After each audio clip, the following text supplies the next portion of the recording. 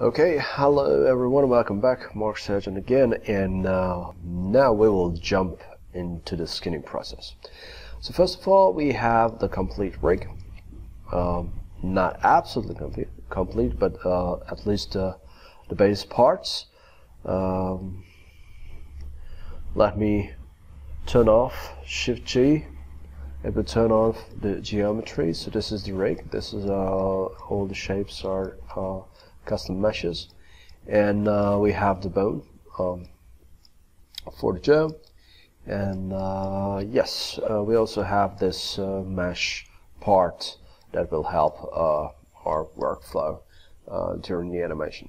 So first of all we have the figure. And um, we need to apply a skin modifier. So skin where we are skin skin skin. Uh, but by default it will not recognize what bones we want to add. So we have to manually pick the bones uh, and the best idea is if you try to keep it as prompt and as straightforward as possible. Okay so uh, pay attention to this. Uh, here's this area. It's called bones and we have add. Now oh, many many things could be included so let me fit this window into our screen sometimes you have this sort by hierarchy option uh, please choose sort by layer and right now everything is on the default layer so let me open this up and uh, practically we will have to choose almost everything Alright, and uh, once everything is selected, so let me press Ctrl A. Once everything is selected, let me exclude few things. Uh, just a base tip. So when you see these icons, these icons, these are indicating that we have bones selected. Usually these bones are necessary.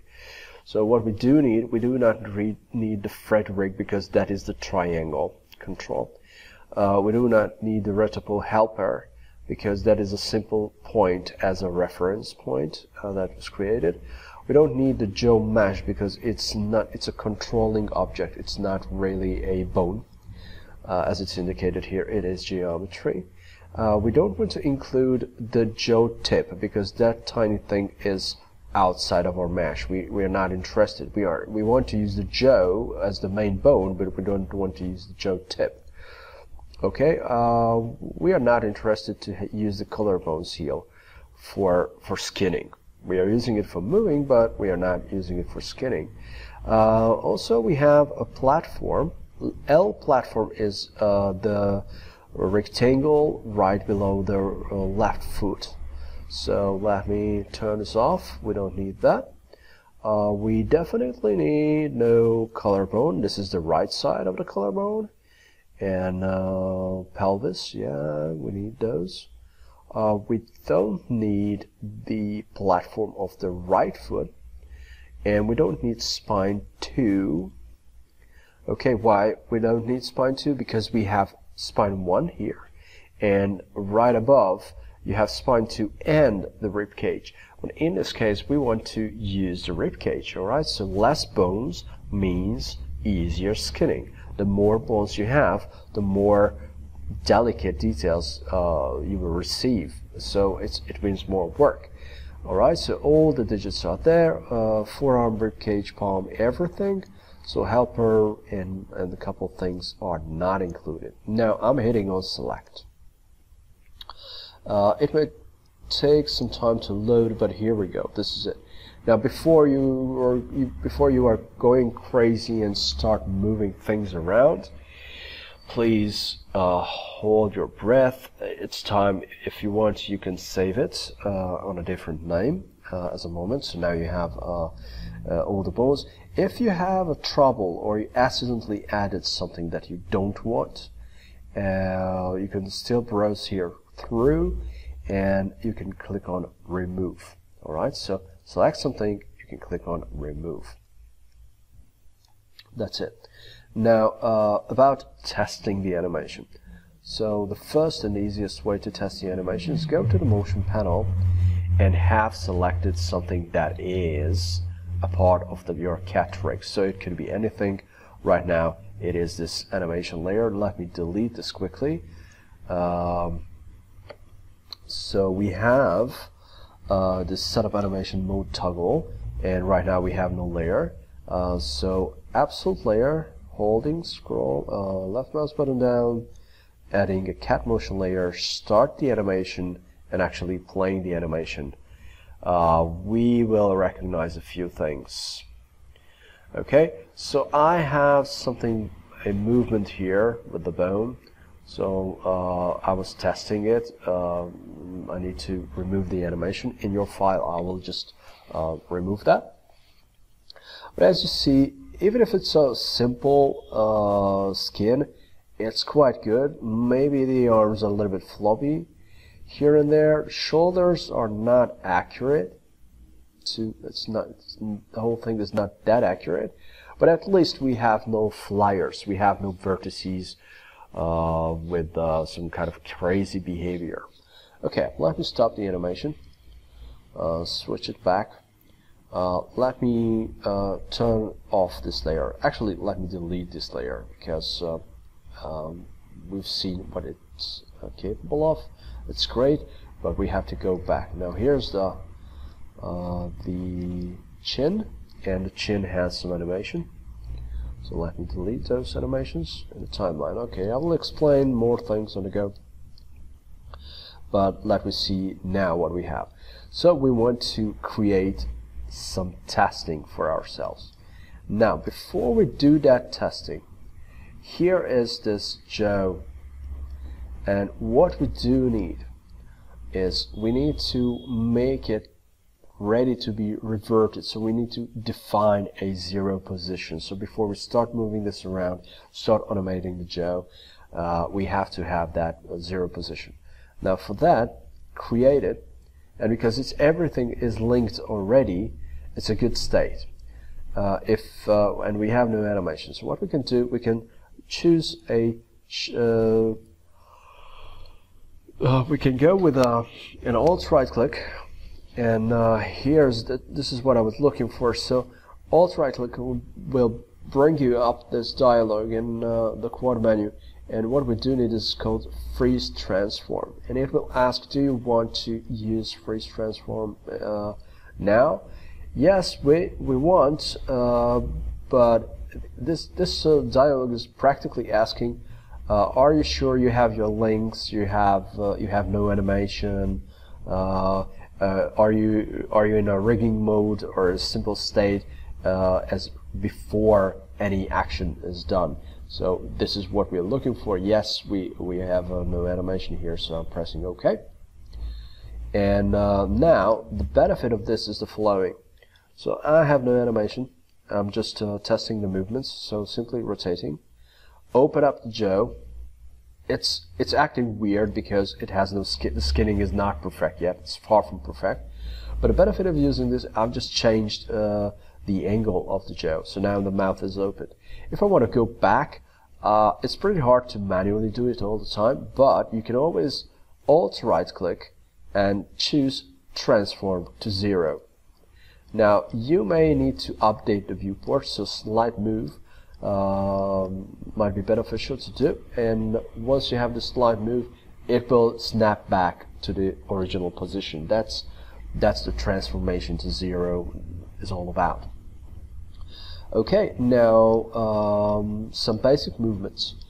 So for the skinning part um, actually what we do need is um, even before we're setting up the animation we can go to the uh, modify panel select the figure and check what we actually have at this stage. So before we are going crazy, uh, it's time to organize a few things here and there. So go to the skin and under the skin we have a single uh, envelope and when you click on this envelope, let me press F4 to visualize things a little bit more, um, you will see this kind of a thermo thermic image and it shows the influence of the bones. Now, the envelope uh, mode is selected and the base is the head, so every bone has a handle. So these gray things with the dots at the ends, these are representing the handles of the bones. Alright, you can change the orientation of the handle uh, you can change many things. You can change the influence. You can change the fall off. For example, uh, if it's too big, you can reduce it. Uh, but be careful because the uh, when you are acting and when you are creating these, these should overlap a little bit. Okay, so not much, but some areas will belong, some vertices will belong to one part and another as well. So, for example, a vertex here will be influenced by the upper arm and also will be influenced by the uh, rib cage and there is a chance it will be influenced slightly by uh, the neck. Okay so for example here is this is uh, the neck area. Um, and uh, as you see we had the floppiness here and that's caused by the strong influence of this the palm for example as you see the radiation the strength of the palm is way too much so this is why when you start rotating the wrist it will alter uh, the mesh around forearm okay now it's time to clean up a few things so first of all because we have a jaw let me go to the left view and uh, let me just reduce the fall off of this one. So the fall off curve is actually the outer curve of this capsule form. So you can drag these, select it, and with the normal move tool you can reduce the influence. Alright? So I will do the same thing here. I will reduce it slightly. Now, same thing at the back. Okay, slight reduction of it. And uh, also the center part. Now, it may be a little bit tricky, so let me go back to perspective and uh, let me handle this situation.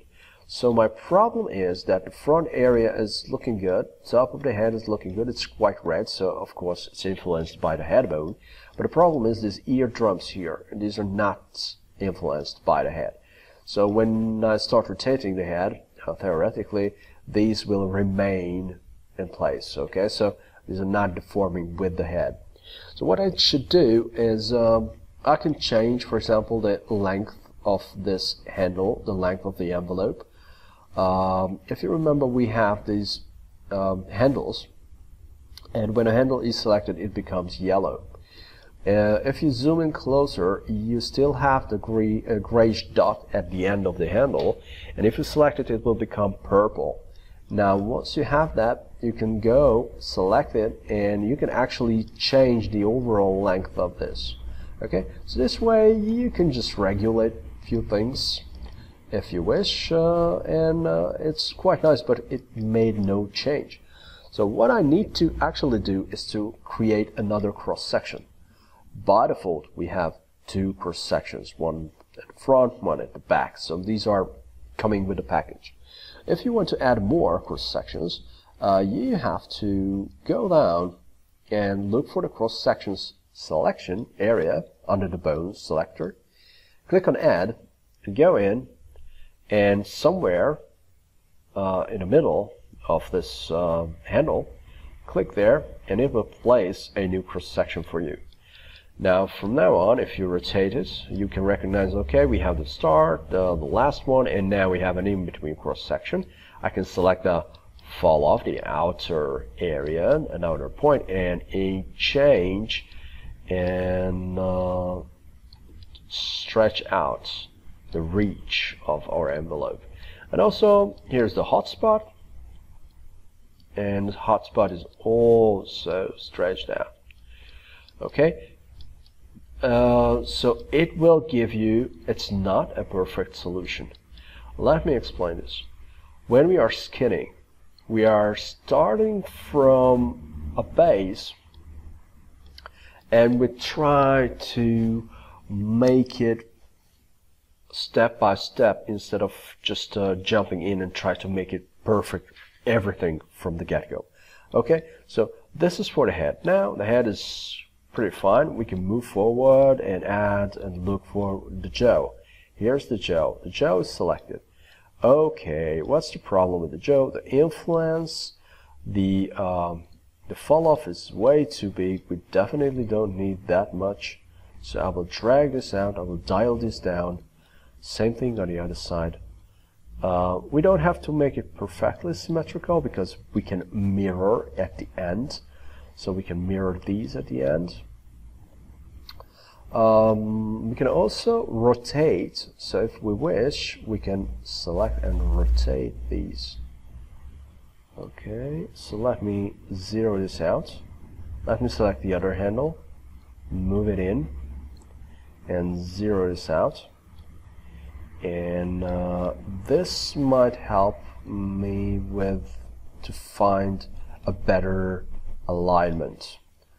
Okay so hotspot selected fall off selected extending okay shrink down here the top part. Okay okay not bad. Yeah so not bad. Here we go we have the head. It's full red here we have the, the gel, it's not that red. Now, why could this happen? So when you see a reddish area, that means those vertices are 100% belonging to that bone. But here we have an area that's um, kind of influenced with, by many, many bones. So there's a chance we have the chest. And as you see, the fall off of the chest is also includes these points. So we should reduce the influence of the chest as well. Be careful. Uh, try to maintain symmetry. So as you see, I'm dragging specific axes, uh, not not uh, just by random. So I try to move up and down, uh, left to right. So instead of uh, moving in a 3D space, I try to uh, watch for these moves. And we still have another influencer, another bone, and that is the neck area. So honestly, I think uh, the neck is a little bit better if it's not horizontal. So right now the envelope, the default position of the envelope was horizontal for this one. Uh, maybe we should uh, change it to vertical. So now I'm dragging here and uh, I, I've just eyeballed so it's not that center. I have to walk down and look for the X value right click to reset it to zero. Where's my other handle? Here is the other handle so I have to select that as well. Just by eyeballing drag it to the center and right click to make it sure that it is in the center and go to the left view and uh, move it up. And also I have to select the other handle and move that down and dial down these guys. So dial them down. Probably the hotspot is just uh, too small. So maybe I can increase the amount. So that's it. That's it practically. Probably closer to the center can help. So, mm -hmm, something like this. Okay, go back to perspective. Oh, it's not bad. So um, maybe, maybe, maybe, maybe the bottom should be even smaller. Okay, that's good. Now going to the chest. The chest area definitely need more influence. So just it was just too much.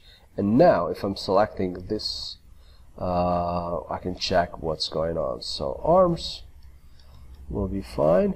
This one will be fine, except the uh, amount of the influence of the uh, palm.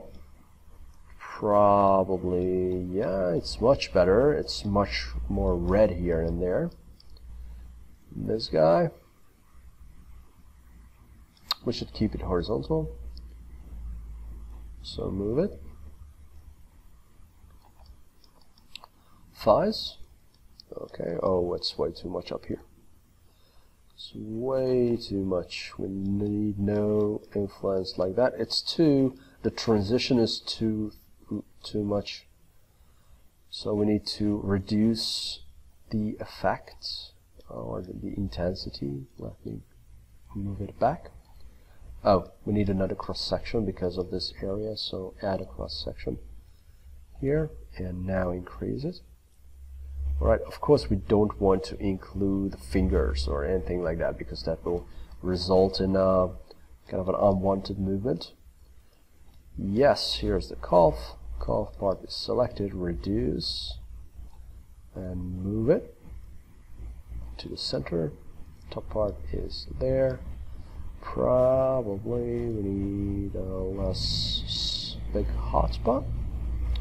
Okay, okay, okay, right. So here we go. Uh, this the influence, uh, the radiation of this bone is way too much, and also the end is located a little bit off. So let me bring it back closer to the ankle. Probably now we can add more. We want to see some yellow here. Also here's the, uh, our other bone. It's also a little bit too much, so let me pull this back. Okay. As you see, here's a nice transition at this area. So uh, blue are not uh, influenced, but uh, the red parts are just there. Maybe it's too much here. It's because we have plenty of bows, these tiny bows that can help me in the movement. So, so let me select this. That's great, and these bows should be a little bit more, a little bit more, more, more, more, more. Okay. Bigger uh, effect.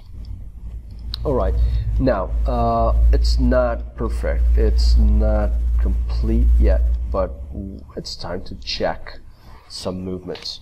Now, the way to check some movements um, is to set up some animation, but before we are setting up the animation, it's time to uh, mirror what we have at this stage. Okay, Again, it's far from uh, far from the good, but we can select and mirror all the things. Just walk down, go to mirror mode, and we have an option called past green to blue bones. Now green is the right side. If you are working on the right side, you will use this feature. So past green to blue bones. And um, now it's updated. I can press right click and uh, turn off mirror mode. Okay, F3 and leave skin and here we go. So here's our figure and uh, it's time to check some movements. Now to check those, go to the modify panel, uh, I'm sorry, the motion panel and we need to set up a, a layer, but it won't be a motion layer, it will be a standard absolute animation layer. So I'm holding down left mouse button and uh, just uh, clicking on ABS, or actually just clicking on the ABS will uh, give me the new layer, or scroll down, sorry, scroll down. Uh, we don't need two, definitely, we need only one. Uh, enable animation mode, and now drag the time slider to about 20 or 10. 10 is enough. Turn on N. N is the auto key. So if you press N, uh, it will turn on the animation mode, auto key animation mode. And we can switch to rotation. And don't forget, we are in animation, so usually there's a chance we are we are using local mode. Okay, so if you haven't switched it already, choose local mode. And let me lift up the head and see what's going on. So the head has some influence around the neck area. That would be nice. I'm also looking for opening up the mouth. So the mouth should be selected. Open it up. Uh, no problem. There's no surprise that we have a problem here. We will solve that problem. And uh, also, uh, let me check and Shift G to hide the geometry temporarily, Shift G to back again. It's not animating, it's just showing hiding geometry. So let me lift up the hand. Uh, actually, the palm is acting like a, um, a target. So I can select the upper arm and choose FK. Now that's that's a big benefit of using uh, um, the CAT rig.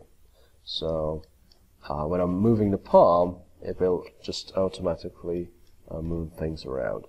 Okay, we have some weird action here with the with the, the uh, movements of the arms so that's a little bit odd and what we also do need is we might want to animate the platform so here it is this is rig right platform. And let me lift this up because I'm very curious about hey it's not that bad for first. Okay I think it's uh, the collision here is quite looking good. Okay so it's, it's really not that bad. Probably if we want to add more stress to this probably we should select the ankle bone and change the angle and that can also increase uh, the stress on the mesh okay so now it's it's quite a lot. You can see here we have some collapsing areas? And uh, maybe we can rotate the arm a bit okay because that will also generate some issues alright Okay, so uh, this is the moment where we can turn off auto key N and if we are moving back and forth we have this uh, uh, chance to test out some of the movements. So we will use this for testing. But because it's just only 10 frames uh, we definitely do not need uh, that many keyframes to be used. Now to reduce the length of the overall length of the timeline, uh, my suggestion is to choose and use Control Alt and keep your cursor in the timeline and press right click and hold it down and move the mouse. So this way I will rescale, not rescaling, I will just um, crop the timeline so the visibility of the timeline is just changed, the display length of the timeline is changed. So now we can easily just uh, select it, uh, the slider and move uh, and look around. Okay, here we go. Now, so imagine that all of the envelopes are edited. And uh, that takes some time. Okay, so that is just quite a lot of time. Uh, we also have and also can adjust uh, the arms and fingers sorry legs and fingers and toes uh, so before we are making the testing and um, and the painting of uh, the skin. Uh, we will do that and that will be for uh, this particular class okay? So just let me make those movements. So select back again a uh, part of the figure, actually select the palm and uh, turn on animation. So auto key is on. Uh, move it to move it to 20 and uh, and what we can do turn off shift G is animation mode is on. So we can go in here uh, and look for and look for the uh, motion panel. Palm is selected. Animation is running we have a uh, uh keyframe set to 20 so it will create a keyframe here. And there is a fist option. So from the digit manager from the motion panel it's quite at the bottom of this uh, sidebar. We have to choose the fist and change the weight to a hundred. Okay so it will it will create a fist of this guy of the hand. So you can select the, the root bone of the thumb and just rotate it okay? Because the uh, this is this is much more like a human fist. So what we need to do is just to make slight adjustments to fit our own particular characters so this is what I made. And now it is just creating a fist from uh, because it's auto key it starts from the zero keyframe and uh, uh, just um, the duration is 20 frames. Uh, to make it a little bit more specific move to create this difference easier to recognize where we are the best thing if you just double click on the palm, it will select everything and uh, just alt clicking on the palm because palm animation we don't want to include the palm animation. So these are just the finger animations. Now everything that you see here you you see it as one keyframe but actually it's all of the keyframes for each of the digits. So I can select this and drag it to keyframe 10 so what does it mean? There is a movement of the palm of the arm from 0 to 10 and from 10 to 20 this thing is performed. So the fist uh, is clenched. Okay the, the hand is clenched. Okay so that's it. Shift G to get back to geometry. And now we can see some errors here and there. So let me turn off animation. N. And uh, it's not that bad. It's not that bad. The fingers a little bit soft and a little bit bendy, so we have to adjust those, but this is because the overlap of the envelopes. Okay, so we'll go there and uh, uh, once you have the basic envelopes edited, you can fix that with painting. So still the envelope part, go to the modify panel, enable envelope. Now we have these special uh, positions and, and uh, angles. Uh, right now you don't you don't have to edit skinning in a static pose. You can edit that in uh, movement. So here we go. Where is this overlap issue? So for example here, I think it's too much, so let me reduce this. Probably this palm has a too strong effect. So I'm in the 3D space, and I can adjust the influence of the palm bone in the 3D space. Okay, can you see how drastically?